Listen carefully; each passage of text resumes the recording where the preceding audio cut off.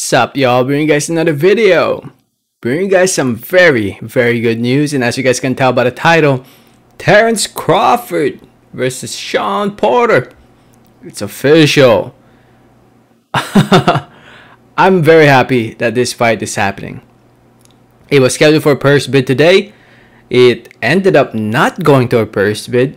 Instead, both sides, both Team Crawford and Team Porter, PBC and Top Rank, were able to come up with a deal to have this fight happen in November.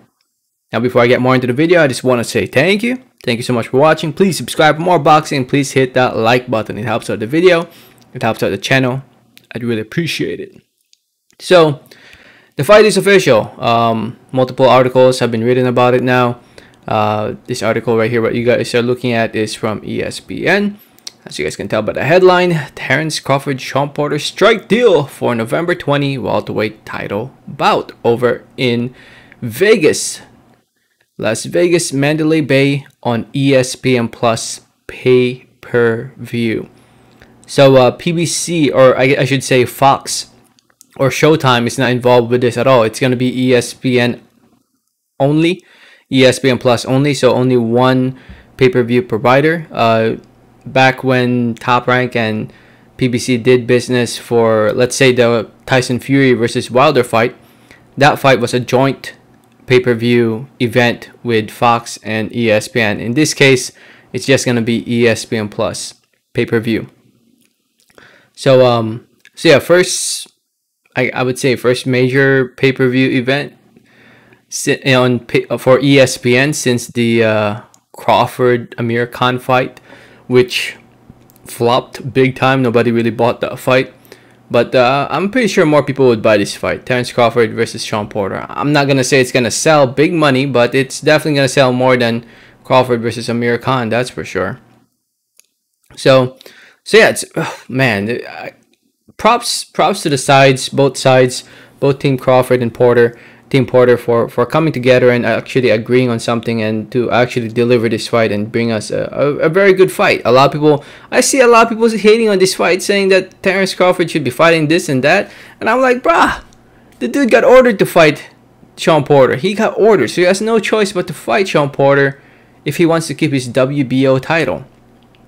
And it's a good, a very damn good fight. First major fight for Terence Crawford in the welterweight division since I would say Jeff Horn uh, you know, Terence Crawford conquered and unified the uh, 140 pound after he defeated Julius Indong Indongo back in August of 2017. Since then, he hasn't really had a major major achievement um, other than the Jeff Horn fight where he won the title at, at 147.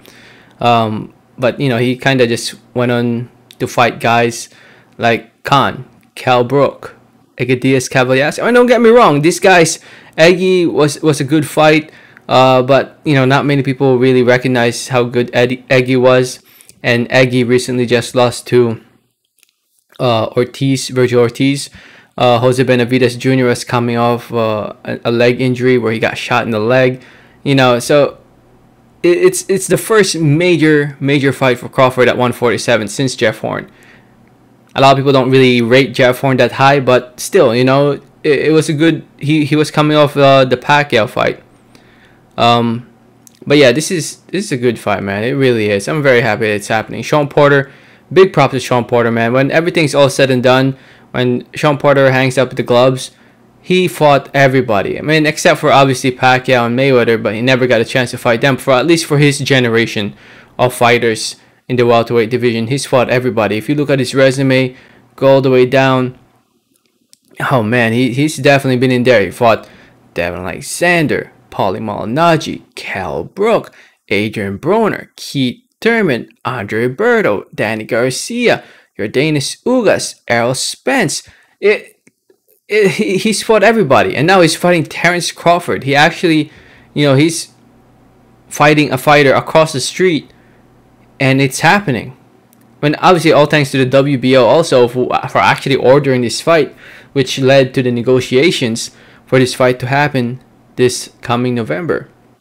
So I'm, I'm just happy happy that this fight's happening, man. When I, when I saw when I was scrolling on Twitter earlier today, I was like, because I was at work, I was like, oh man, is this really legit? And it, it is. It's legit, man. It, it's happening. It's happening. November 20, 2021.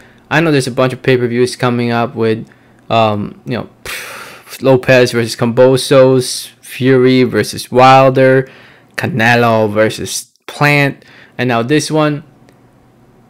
I know there's a bunch of pay per views, but um, I'm liking these pay per view fights at least, except for the uh, Lopez Kambosos. That one, I don't know if that's worth pay per view to be completely honest.